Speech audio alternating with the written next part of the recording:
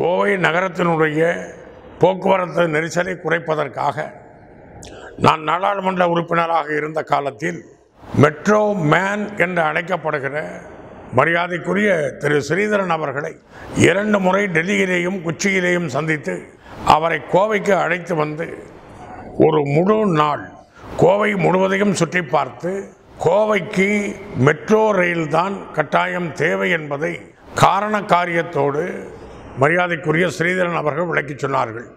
திரு ஸ்ரீதரன் அவர்கள் சொல்லுகிற போது the first phase of metro அந்த மெட்ரோ என்பது உப்பளிபாளையத்தில் இருந்து ஏர்போர்ட் வரை இது first phase the second phase of metro உப்பளிபாளையத்தில் இருந்து துடியலூர் துடியலூர் வரை செகண்ட் ஃபேஸ் மூன்றாவதாக இது இரண்டும் அமலாக்கிய பிறகு தேர்டு ஃபேஸ் என்ற வகையில் உப்பளிபாளையத்தில் இருந்து நேரடியாக சத்தியமங்கலம் ரோட்டில் தேவைப்படுகின்ற இடம் வரை இந்த மூன்றாவது ஃபேஸாக மெ மெட்ரோ ரயில் கொண்டு வர முடியும் என்று மரியாதைக்குரிய ஸ்ரீதரன் அவர்கள் அதுக்குண்டான வரைபடத்தோடு கூடியதாக சொன்னார். அதோடு மட்டும் இல்லை தேவைப்பட்டால் மாநில அரசாங்கம் ஒத்துக்கொண்டால் ஜப்பானிற்கு சென்று ஜப்பான் அரசிடத்திலே பேசி கடன் பெற்றுக் கொடுக்க முடியும் என்றும் தெரிவித்தார்.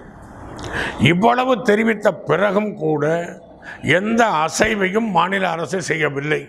தமிழக அரசாங்கமும் மெட்ரோ ரயில் வேண்டும் என்று தீர்மானம் நிறைவேற்றிய பிறகும் கூட இன்றைய வரையில் மெட்ரோ ரயிலுக்கான எந்த தயாரிப்பு பணிகளும் செய்யப்படவில்லை. கோவை மக்களின் சார்பில் மெட்ரோ ரயில் வேண்டும் என்ற அந்த தீர்மானத்தை வலியுறுத்தி இந்த மெட்ரோவை கோவைக்கு கொண்டு வருவதற்கு அனைத்து முயற்சிகளையும் எதிர்காலத்தில் செய்வோம்.